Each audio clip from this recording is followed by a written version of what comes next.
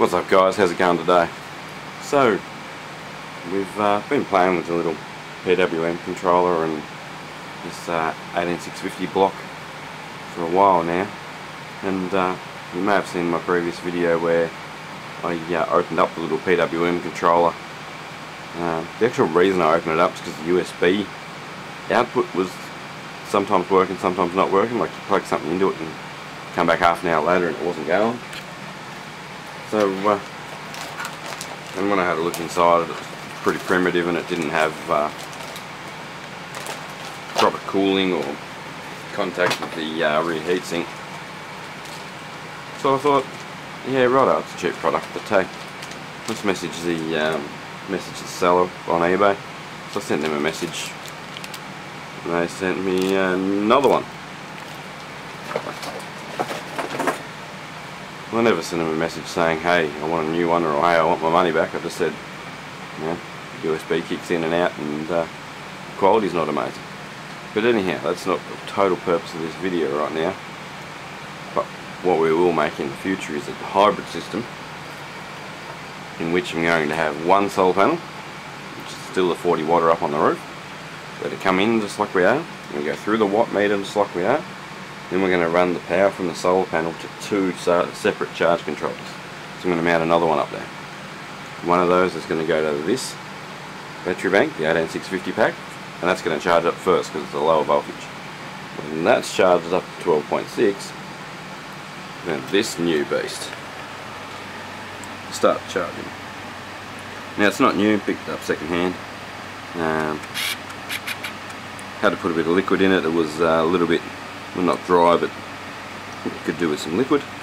Gives a 100 amp hour 12 volt Fullriver valve regulated battery. So it is a sealed lead acid.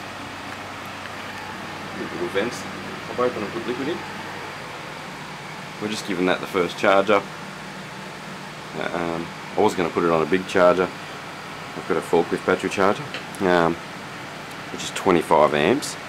But then I decided not to go that way as it um, has a max charging current at 20 amps? Which I thought was strange but um, sealed lead acids obviously uh, do have that. So what I did was I bumped up the voltage on the charge regulator back up to uh, I stopped it at 14.4 it's saying on the side of it that its cycle charge can be right up to 14.9 so we may even turn that up yet. Now we're currently at 12.2 volts 25 watts going in. Pump that up a bit more. We've got, we've got about uh, amp and a half coming out of the solar and uh, 2 amps coming out of the uh, lab power supply through the capacitor so the power supply doesn't go stupid with the PWM. So we're putting in about 40 watts at the moment. We'll do this just to give that a boost up and a, get a quicker result out of the uh, charger and uh, what we'll do is we'll see the total amount of energy I put into it. Um, probably it's not even going to be today. It's probably going to be another day. 3 amps. So probably only going to be 2 amps overnight. So 3 amps for the next say 10 hours. Only 30 amp hours. So it's going to it's going to take a bit of time to charge if it's got full capacity still. But uh, yeah what I'm going to do is I'm going to find here somewhere, find the uh, 1000 watt inverter and connect the 1000 watt inverter up to this one. It's got nice bolt down terminals.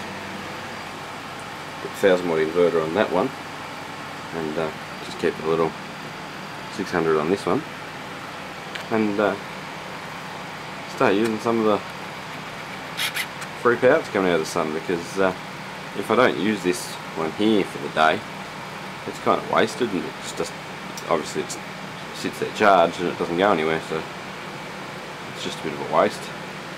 Uh, especially when I've got a little panel on the roof doing its job. I know it's not much of a panel but um, the, uh, the more storage we've got the better. Um, there's no point in not charging the battery up. So what we'll do is we'll get this charged. Once it's charged we'll stick a kilowatt hour meter on the outlet of uh, this inverter or the 1000 watt one if I've got that on there at that stage and what we'll do is we'll run it until the uh, battery actually cuts until yeah until the inverter actually cuts battery voltage. When it does that, um, we'll have an idea of how many usable kilowatt hours are in it. You would say 1.2 if you said 12 volts, 100, 100 amp hour. But uh, even if we get a kilowatt hour out of it, that's awesome. Especially considering it was a uh, basically an on exchange. I took a bugger battery in and got that one. So it's a second handy. That's one reason I'm charging it with the um, PWM solar controller because uh, that'll be nice and it will top it off in like a pulse. Um, and hopefully that'll get the most capacity back into the battery so we can uh, utilise it totally. So what I'm going to do is I'm going to make a little step for it down the bottom there. That can be below this lithium pack on the wall so I can tidy all the wiring up and that, get it off the bench, this bench, and um, we'll go from there. Thanks for watching YouTube. Next video will be uh, coming soon of a discharge test.